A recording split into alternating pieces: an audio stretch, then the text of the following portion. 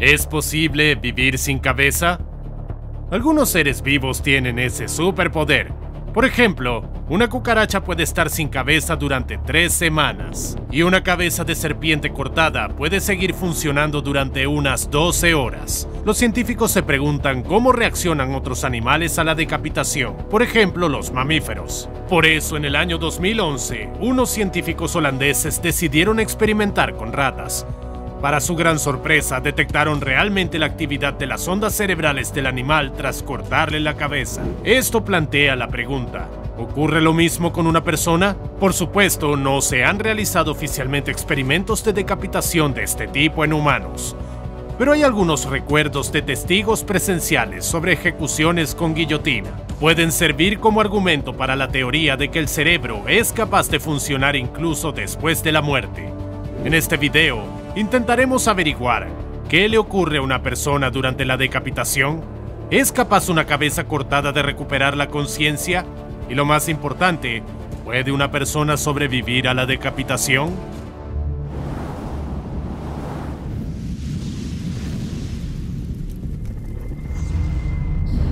¿Qué le ocurre a una persona durante la decapitación? La guillotina fue considerada durante mucho tiempo como el método de ejecución más humano y en Alemania, por ejemplo, se prohibió hace solo 44 años. Su mecanismo estaba pensado para producir una muerte instantánea. Cuando la hoja pasa por el cuello, corta la médula espinal y las arterias sanguíneas. Debido a esto, el sistema cardiovascular deja de suministrar oxígeno y otras sustancias esenciales al cerebro. En cuestión de segundos deja de funcionar. Así, mediante la decapitación, los prisioneros se libraban de una muerte lenta y dolorosa. Pero hubo casos en la historia que nos hacen dudar de que la guillotina fuera tan humana como se dice. Esto parece ser confirmado por el incidente que tuvo lugar en Francia en 1905. La gente se reunió para ver la ejecución de Henri Langouille, que fue condenado a ser ejecutado por decapitación. En Francia, este método de castigo de los condenados también se percibía como un tipo de entretenimiento aparte. Cuando la cabeza cortada de Henri cayó en la cesta, la gente se dio cuenta de que sus ojos seguían moviéndose. Solo hay dos opciones, o se trata de una convulsión agonizante o realmente ha recuperado la conciencia. En el experimento de los científicos holandeses con ratas, este momento fue captado por un electroencefalógrafo que conectaron al cerebro del animal. Los resultados de las mediciones mostraron que la actividad cerebral se mantenía en frecuencias de nivel consciente. Duró casi 4 segundos después de la decapitación. Y luego, en aproximadamente un minuto, una gran onda eléctrica se desplazó lentamente por el cerebro de las ratas. Resulta que dicha onda pudo aparecer en la cabeza de Henry, cuyos ojos siguieron moviéndose incluso después de la decapitación. ¿Pero qué la provocó? El caso es que entre los espectadores de la ejecución de Henry había un médico llamado Gabriel Verriou. A menudo asistía a tales procedimientos por su interés médico y los trataba con impasibilidad. Pero esta vez no. Cuando el médico se dio cuenta de que la cara de la cabeza recién cortada había empezado a temblar, llamó a Henry por su nombre. Fue entonces cuando los ojos del ejecutado miraron directamente a los ojos de Verriou. El médico le llamó una vez más y los ojos de Henry volvieron a mirar al médico. Muy posiblemente, Berriou creó un estímulo emocional que desencadenó la actividad de las ondas cerebrales del difunto. Pero, ¿y si con la ayuda de inductores adicionales se pudiera extender? El hecho de que el cerebro humano pueda funcionar incluso después de la decapitación queda confirmado por otro extraño caso relacionado con la guillotina. Ocurrió durante la Revolución Francesa en la ejecución de una noble llamada Charlotte Corday. Para gran asombro del público, después de que la cuchilla degollara a la mujer, el rostro de Charlotte adoptó una expresión de enfado y las mejillas se sonrojaron visiblemente. Esta reacción de la cabeza cortada se explica por el experimento de Robert Cornish, un fisiólogo estadounidense. Inventó la forma de mantener la circulación en un cadáver.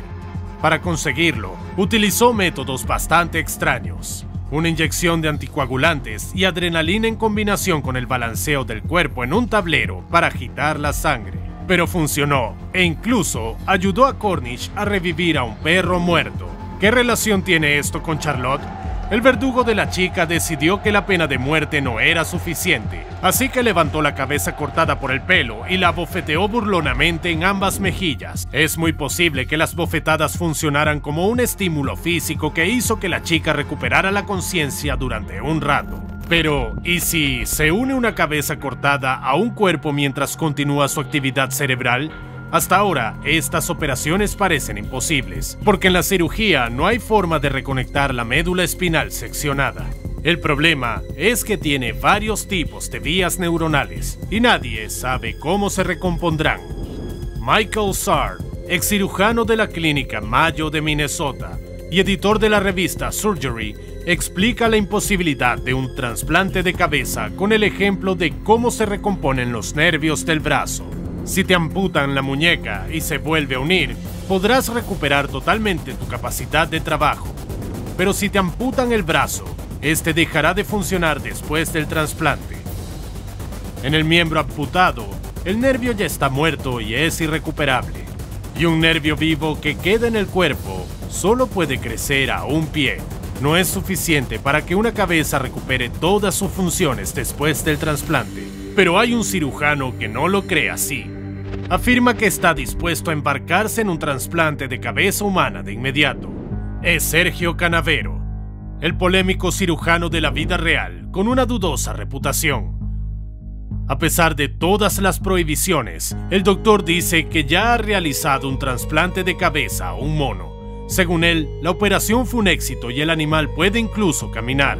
Ahora el doctor está dispuesto a hacer lo mismo con un humano. Casi nadie cree en el éxito de su operación con animales. Por eso, las comunidades médicas de Estados Unidos y Europa se opusieron al proyecto y no dieron permiso al doctor para realizar ese experimento con humanos. Pero Sergio no se da por vencido, ya que los primeros trasplantes de corazón, mano y cara fueron percibidos inicialmente de la misma manera. Incluso encontró un voluntario que aceptó ser el primer trasplante de cabeza completo, a pesar del alto riesgo de un desenlace fatal de la operación. Y esa persona fue Valery Spiridonov, un programador ruso. Padece atrofia muscular espinal congénita, un trastorno que debilita los músculos y provoca problemas de movimiento. Pero en el último momento, Valery rechazó la operación. Entonces Canavero decidió poner en marcha su plan con la ayuda de alguien que nunca se negaría. Así, bajo la dirección del médico, los cirujanos chinos trasplantaron con éxito la cabeza de un muerto a otro. Fueron los primeros en el mundo en realizar una operación de este tipo. Los médicos consiguieron conectar la columna vertebral, los nervios y los vasos. Según Canavero, fue un ensayo general antes de trasplantar una cabeza a una persona viva. Además, ya ha puesto su precio a la realización de este procedimiento y cuesta 100 millones de dólares. Así que si no tienes esa cantidad de dinero en tu alcancía, ten cuidado y vigila tu cabeza. Pero aún así, vamos a fantasear un poco. ¿Qué harías tú si te encontraras en una situación tan desagradable como la decapitación? Mi cabeza, incluso después de ser cortada, probablemente pasará otros 15 minutos pensando en cambiar las miniaturas y los títulos de los videos del canal. ¿Qué harías tú en una situación así? Dímelo en los comentarios.